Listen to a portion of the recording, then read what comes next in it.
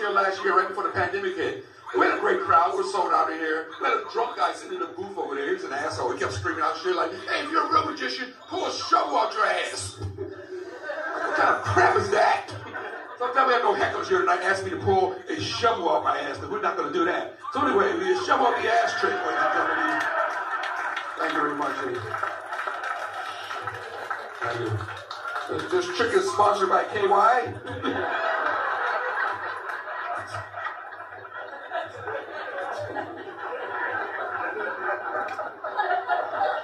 That hurt. It was a long ride over here, too. I was driving like this.